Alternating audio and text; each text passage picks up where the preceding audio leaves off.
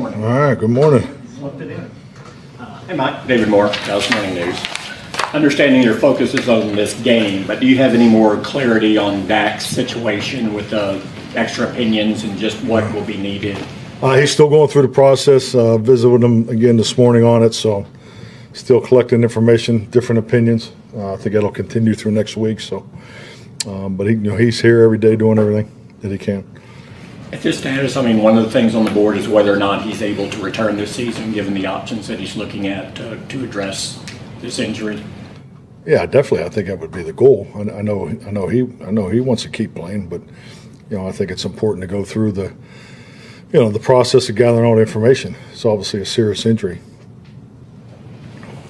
Mike Todd Archer with ESPN. How did uh, Micah and CeeDee come out of their work yesterday? Uh, CeeDee had a good day, did a little more than we anticipated, and I, I thought Micah had a good day. He felt good this morning, so uh, Micah will do a little more, um, and uh, CeeDee will stay on stay on a normal rep count.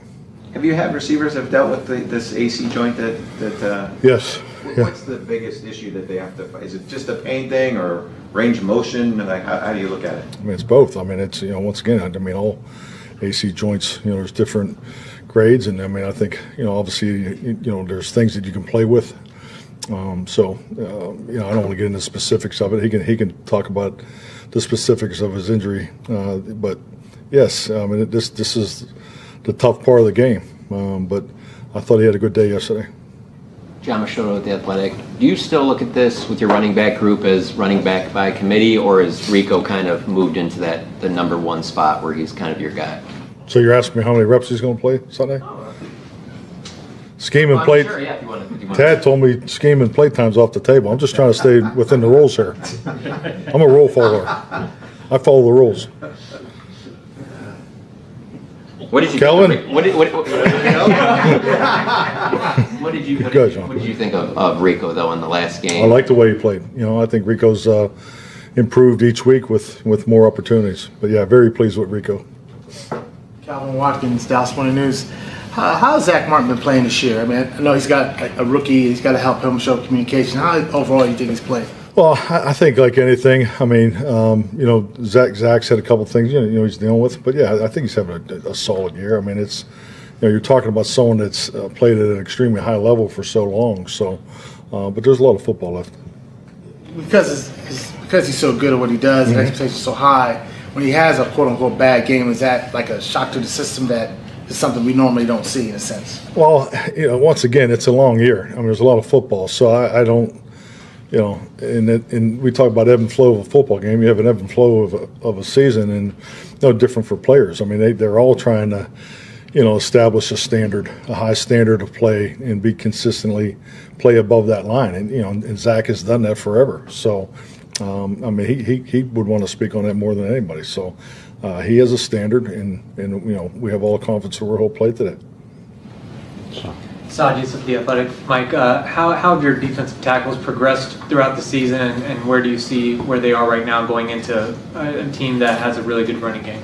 Well, I I think you know our numbers up front have, have been a little light. You know, we went in um, last week with eight, uh, so you know, I mean, we're going to need a Moz. He's going to have to play well. You know, we, we need those guys inside. I mean, it's this offensive line and the way they run it. Saquon's playing it at, I would say, probably the best I've seen him play uh, going into a, a week of prep. So um, he's he's been dynamic. Uh, I think he wins the Player of the Week every week. It seems like, but um, you know, we, yeah, we definitely got to play, you know, strong inside. We play with a lot of discipline. I think the fit between our linebackers and our core guys inside has improved, and, and we need to continue to stay on that. And we will definitely need that Sunday. Their, their quarterback sneak play hasn't been as effective this year. Is that just an indicator of how valuable Kelce was to that? And, and you know, a lot of people attribute that to the quarterback, but just the whole operation. Well, I, I would say, you know, K- Kelce, in my view, is a Hall of Fame center. I mean, I just, I mean, he. He, he played at such a high level for so long. So uh, not only the snake, but there, I mean, there's a lot more. You know, what I what I re- remember the respect I had for him is when he, you know, their pattern schemes. You know, I mean, you know, he pulls, and they're still doing it with their center now, but just his ability to pull on the edge and make plays too. So, um, but yeah, I- I, I think some of that too is, you know, maybe the opportunities haven't been there too. I, I, I haven't studied it to give you. I don't, I don't have an evaluation of their sneak play. Ed. Mike Ed Werder, WFAA. Um, As you endure this three-game losing streak, Oh, that hurt. You're killing me. Can we get past the opinion and just give it to me? Come on. I'm trying to create context for the question. I'm sorry. I'm- I didn't get much sleep last night. I'm a little squirrely today. I won't say it again, but you know, in addition to that, you lose your starting quarterback, just as your pass rusher's coming back. Uh, How would you describe morale and, and and how do you, among your coaching staff and the player, how do you, how do you control that? I would say this. I mean, the, the reality of what goes on, you know, inside the locker room, the coaching uh, operation is really has been very consistent. I mean, uh, I think like all of us, and it's and it's really been like this my whole career. You know, when when things don't go the way you want them to go, you you knuckle down and go a little harder. So I mean, that's the only thing I, that I've seen. Um, you know, we, we've put a lot of time and energy in this, not only on a daily basis in season, but th- this goes back to April. So, uh, yeah, I, I haven't seen anything change. Um, you know, if you look at the practice tape and and um, you know, I'm always just use the young guys example. You know, we got some young players that have that are having you know they're they're, they're growing and so forth, and that, that that's that's part of your your your your, um, practice climate that, that that's established here. So I, I haven't seen any drop off. You know, the weight room. I mean, discipline. I'm just looking for situations. But yeah, the, the, this this this particular team is clearly you know is, is a very consistent football team. But yeah, I, I mean morale. I mean we all want to win. I mean it's it, it's frustrating when you don't win, um, and it's hard, and because you got to answer questions like this too. That's part of our job. Uh, but I, I just yeah I, I don't I don't see really any drop off. So um, good to be home. Need to win a home game. I won a home game this year. How unthinkable is that to you? That you have, as dominant as you guys have been Well- at home the last two years, that you haven't won a home game? You know that that would have been my answer. You know, it just just the way we've played the last two years. It, it you know, I would I would have never thought that. You know, I would have never thought that. Aaron. Uh, Aaron Kaznas, Lone Star Live, kind of building off that morale question, uh, with, with Dak hurt and Zeke gone through his stuff, have you noticed uh, anybody step up leadership wise, or, or is that important to you to have particular guys fill leadership? I would say people are, it, it, it's more action than, than vocal right now, and I think that's the way it should be. Um, you know, I, did- no no one wants to really hear a whole lot of extra. You know, but uh, we do have vocal leaders. Uh, I- I think they do a good job of, you know, speaking at the right time, or when something needs to be said. Um, um, personally, I can't stand false chatter. I, I, I, maybe because it's I'm old, uh, I find it annoying. Um, but you know, I think it's important to stay consistent. And going back to Ed's original question, I think the energy is probably what I'd comment on too. Is the energy has been very consistent, and I think that's important. Dave. Mike, you, we've, you've talked a lot about being a, a draft and develop coach, and that's a bedrock principle of what you do. And, and you've also mentioned several times this year being green, it, which is another part of being a draft and develop team. How key is it every offseason when you're draft and develop like you are to, to analyze kind of that veteran safety net on how many of them you let go so you don't leave yourself too young in certain areas? I mean, how big a part of that is then the evaluation year in, year out? Well, I, I do think the formula, and it's hard to do it every year because you've got the whole financial realm over here that, that that's uh, critical uh, to the process of putting together a roster. Um, but you know, and I and I learned this uh, first time I really saw saw it happen was probably in Kansas City, but was more in tune with it when I went to Green Bay. Is you know you try to make sure through veteran free agency you have you know the spots full, or at least you know you can go play a game today if you had to in, in April, and then you're able to you know you're not drafting for need. I mean you try to stay away from drafting for need, uh, but that's that's not you know some years it's not practical. So um, so in, in, in, and have been there even in a draft and develop program in 13 years. I mean we. You know, we said we were BPA, best play available all the time, but you know there are times we were not. So, um, and I think so that happens. Uh, so, I personally, as a head coach, would really, you know, when you're signing veterans in camp and, and you know you're you're doing things at the end, that that that I think that's a, a pretty big challenge. It doesn't um, that because it's happened more this year. It seems than, than I haven't uh, been exposed to as much because I think you know if you can have everybody here in April when that draft's over and you line up and you got that 90 man roster, if you can get to work on continuity and con- consistency, I think that's a huge factor in the start of your season because if you can just get started in eight, in September because it's September to me is the best opportunity to win games. I, I personally don't think the quality of football is the best of my coaching career in September. So to me that that from experience, I think there's more opportunities to win. So, so if you can at least get out the gate and get started, um, and I think having all your people there in, in, in April helps you do that. So, um, but then boom, here comes the injuries. You know, timing injuries, rookies playing. You know, you know when when when they play is is too. So all these are factors through experience you you learn to navigate too. But you know, we all play by the same rules. So it's it's not that you know, we, we have something different than others. That, that's that's not my point, but that's all part of the challenge, and that's why that makes this game so great, and that's why this league is so hard. It seems like again every year that, that is your principle, and you carry it through every year. But you have different numbers of starters who are on that second level who are up in a certain year than other years, and sometimes you lose six or seven, sometimes you lose two.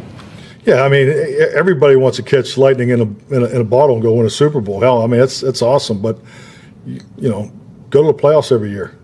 I mean, that's hard. Sustained success in the National Football League is by far the hardest is the hardest thing going. I mean, when you see teams that are in it every single year, that's a hell of a football program. I mean, they're doing things the right way in on all three quadrants. You know, their player instruction, you know, their player um, uh, drafting, and their player finance. Those all three of those components are functioning at a very high level.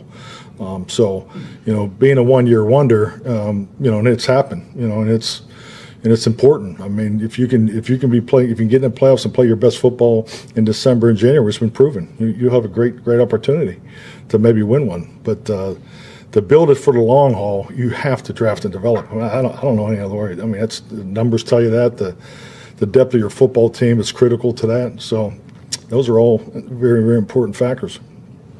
Garrett. Garrett Podell, CBS Sports. Mike, Jalen Hurts struggled with turnovers, but during their four-game winning streak, 12 touchdowns, no turnovers. As someone who's made a career evaluating quarterbacks, what what's flipped for him the last week? Um, I, you know, I haven't watched them that close to give you an opinion on the earlier games. Uh, but I think the you know the obvious is you know the answer to your question. I mean, you got to take care of the football. So I mean, we're we, we're going through we went through the same thing. You can't you can't you know you're never going to win a game that you're minus five. Hell, we won a game that we are minus three. And, you know, and I don't know if I've ever done that before in Pittsburgh. So you, you got to take care of the ball. I mean, there's no any way to shake it. You know, whether it's you know the fundamentals of how you carry it, the decisions you're making, the quarterback, or you're not catching it, and you know, or they're making plays. You know, there's the tremendous amount of training that goes in to ball extraction. I think it's the highest that I've ever seen in my career in this league, the ability to take the ball away. So, and uh, I think we talked about this in here last week or two weeks ago. You know, taking the helmet out of the game, um, you know, the, the skill level of the defenders and the coverage units taking the ball away. It's it's it's it's awesome. We show a video every week. Um, John Mott Fossil does the video. It's incredible. Uh, I love the way he does it and it's it's it's it's a weekly. You know, it goes through every game, all 16 games, and it's all about you know one of the sections is about ball security. So so it's constantly drilled because you have to have it too, and that's where you know the, you know we need to flip it here. You know, and you know we, we were plus one last week, and we needed to build off of that. Sydney. Coach Sydney Staples, D210 Sports. How has that energy surrounding Ezekiel Elliott been so far this week? Good, good. Zeke's um, he's come in and we you know sat down and talked on Monday or or maybe it was Tuesday, but um, yeah, he's jumped right in. He's had a, he's had a good week. So um, you know Zeke has a Zeke has a bright light. You know he's he's uh, got a lot of personality, so he's having a good week. Todd. Uh, you talked a little bit about the home deal. Have you changed anything about your schedule, plan, guys staying in hotels, not staying at home now, anything like that? Yeah, we've adjusted the schedule a little bit. No, I, no, not really. Calvin? Uh, how much will uh, Bland do today? He'll be working with Britt today. Yeah, he's still in the rehab group. Is that foot still sore? Not is that the biggest thing with him? Just the soreness in that foot? Yeah, I mean, the, the specifics, you know, he, I mean, he's still having symptoms, you know, that, that's really what's communicated. So the specifics are, you know, really for him to speak on. Ed? uh, the importance of, of leadership in situations like this, and then what do you lose in that regard with Dak? You know, since he's such a driving force here in the locker room, do you lose that with him, or is he still able to be that when he's not playing?